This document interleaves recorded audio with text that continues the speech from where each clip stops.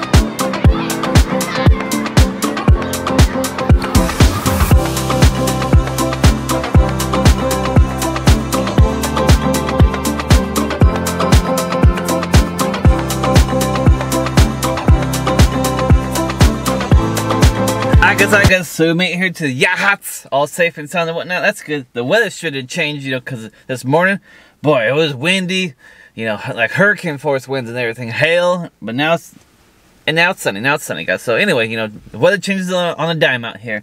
Anyway, guys, so I'll see all you when we done. Alright guys, alright guys. So now it's lunchtime, guys. It's lunchtime and everything. So uh, the truck driver is like, hey man, I'll pick up that spot down there, so don't have to worry about it. So that's good, guys. So we gotta take lunch and go back to Newport. So anyway, guys, see all you. Uh, uh, when we in Newport, you know, hope we get there all safe and sound. And you know, the weather sure did change, guys. It's all sunny and whatnot. So like, take a look, take a look, take a look. You see, sunny, sunny, sunny. You know. Anyway, guys, see you then.